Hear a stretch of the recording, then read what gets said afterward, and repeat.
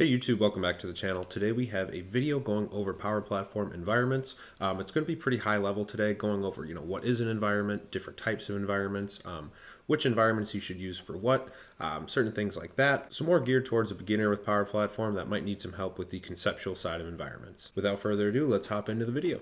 So our first slide is going over what are Power Platform environments. So at their highest level, you can think of environments as storage spaces. They're just containers to store your Power Apps, flows, chatbots, as well as Dataverse tables. Each environment is also created under a single Azure Active Directory tenant, and any resources within that environment can only be accessed by users within that AD tenant. So while they're called Power Platform environments, uh, they don't handle Power BI currently. Power BI is handled separately in what's called workspaces. So for the sake of environments, just know that it's Power Apps, Power Automate flows, chatbots, and then Dataverse tables all live kind of in the same structure. So moving on, we have about five different types of environments. Those would be the default environment, sandbox environment, production, trial, and developer environments. Now, out of these, there's really only three that I think are most important to really understand, and that is the default, sandbox, and production. So now we'll go on and we'll cover each environment in order. So first up, we're going to talk about the default environment. Um, and the default environment is something that every organization that leverages Power Apps will have. It is automatically created. You can't get rid of it and you can't get around it. So a little bit about how the default environment works with users is that everyone is assigned the environment maker security role, and we'll touch a little bit on security roles later in the video,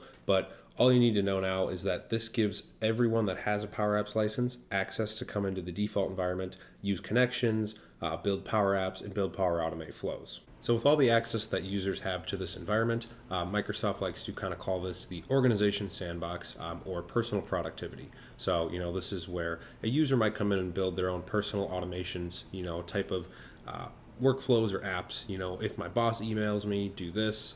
Um, maybe app specific to part of my job.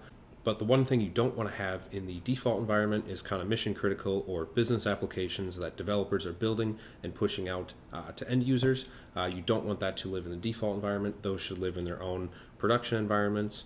Just keep that in mind as you're building applications. Uh, but again, depending on the organization that you work at, you might only have a default environment and you might not have enough capacity to provision a new environment. So and again, with all the access that users have, this can pose some security concerns for an organization. Um, so in the near future, I'll be making a separate video on the default environment, kind of highlighting these as well as some remedies uh, to that. But for the sake of this video, a good high level overview of the default environment is it's the main environment that's provisioned with Power Apps. Um, everyone has access to come in and build their own personal applications in. So next environment we're going to look at is the sandbox environment. Um, and this type of environment is pretty synonymous with the traditional development environment. Um, it's just used for non-production applications to live.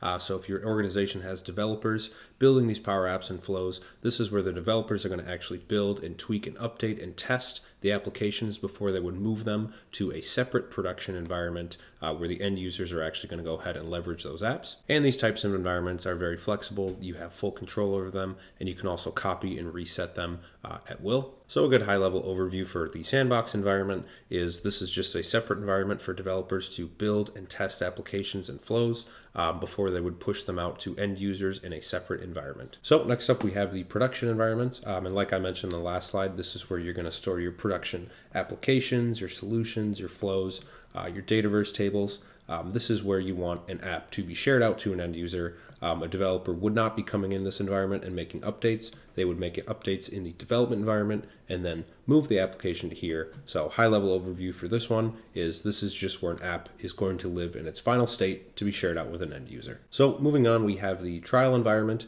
Um, and this is a little bit of a lesser known environment type. Um, and a reason why you'd want to use a trial environment is let's say you have a highly customized development environment, bunch of settings set up, um, access restricted, but you want to provision a new environment to test some new features, test a new idea, whatever it may be, you can provision a trial environment. Um, which you have full control over. And it's short term, the standard trial environment lasts 30 days, which I believe you can extend. Um, but after that time is out, this environment will be gone. However, if you provision a trial environment with a subscription model instead of the standard 30 days, instead of having the environment deprovision automatically, you can actually convert it to a production environment. However, if you do this, it will no longer be free and you will use up some of your Dataverse capacity. So a good high level overview of the trial environment is it's an environment that you can spin up very quickly to test new features without leveraging your Dataverse capacity um, and that will automatically delete whenever you're done testing. So the last environment type is called developer, um, and this is not to be confused with the sandbox or development environment. Um, this is an environment that's solely used for a single developer. It's kind of their personal area to um, build Power Apps, Power Automate stuff, test. Um, it's provided through the community plan, so it's free. Um, it can't be shared with users. Um, it's for individual use. apps, however, can be moved out if needed. Uh, and you do need a Microsoft email as well as an active tenant to use the developer environment. Um, I do have a video going over how to set this all up. If you are someone that wants to start playing around with Power Apps for free, I'll link that video now. So a good high level overview for this one is that it's a separate environment solely for an individual developer um, to kind of test in their own area. So let's say you have a development environment that has a bunch of different developers working out of it. It's very restricted, it's customized. Uh, you don't want to mess anything up by putting your own kind of personal test applications, whatever you might do um, on the side. In this shared development environment, you can go ahead and provision your own personal environment um, that you have control over. So now that we've gone over what environments are and the different types of environments you can provision, uh, we can go over a little bit of how to access environments. Um, the kind of basics of it is that environment access is dictated by what's called security roles. Any environment has kind of out-of-box security roles that you can assign to users to give them varying degrees of access, but these are subject to change at any time from Microsoft. I've picked out three security roles to kind of highlight the kind of main types of access that you'll have to an environment. The first one being basic user. This role is pretty much what it sounds like. It just gives someone access to an environment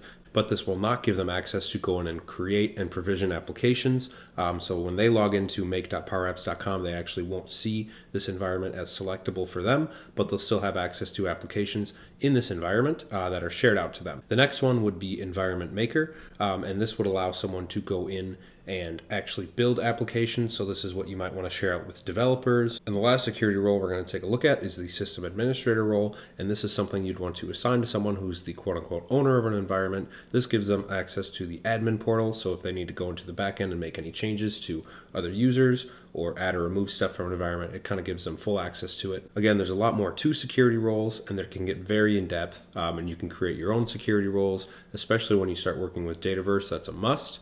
Um, but for the sake of this video, those are kind of the three main ones that you need to know about. So this kind of brings us to our last slide, and this is how should I use environments? So it's completely dependent upon your need and your organization size, as well as your licensing and capacity. So environments are provisioned based off your organization's database or Dataverse capacity. And you might be in an organization that has very limited database capacity, so you might not be able to provision environments at all. So you might be stuck just working in the default environment, but for the most part, you should at least have a development environment, a QA or test environment, and then a production environment. So this brings us to the end of our video. Um, again, this was a very high level overview of what Power Platform environments are, um, and then the different types of environments, a little bit about access, a little bit about security roles, um, I'll have some more videos about environments specifically in the future, um, so stay tuned for that. And I'll have some documentation from Microsoft on environments if you want to go um, do a little bit more reading on them.